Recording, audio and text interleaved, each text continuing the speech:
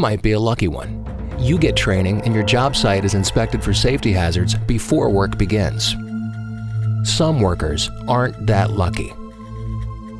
The job that day was nothing unusual, replacing shingles on a gently sloping roof 23 feet from the ground.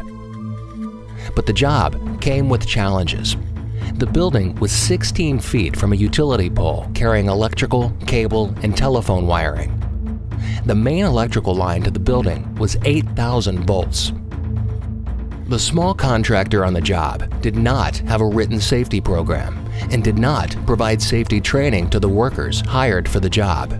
But he did get a ladder hoist to lift shingles to the roof.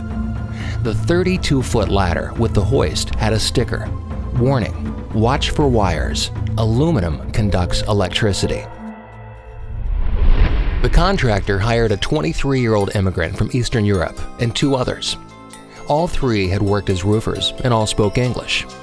At 8.15 on a summer morning, the grass was still wet with dew when the contractor dropped off the materials, then left.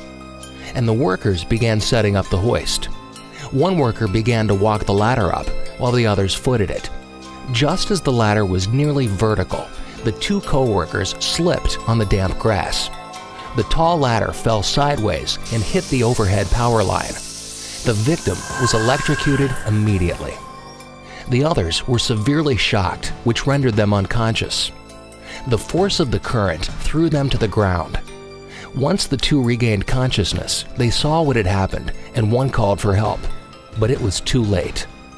The ambulance delivered the victim to the hospital where he was pronounced dead. Electrical current is unforgiving more than 80% of construction workers killed by electricity are not electricians.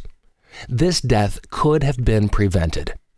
First, the employer should have eliminated use of aluminum ladders or other conductive equipment near overhead power lines. Fiberglass ladders are best, but they must be kept clean to work safely.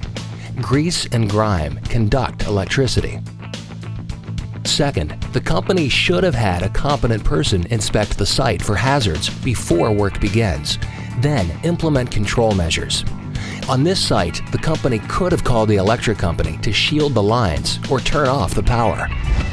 Third, the company should have developed and enforced a comprehensive safety program, including hazard recognition and avoiding unsafe conditions like overhead power lines.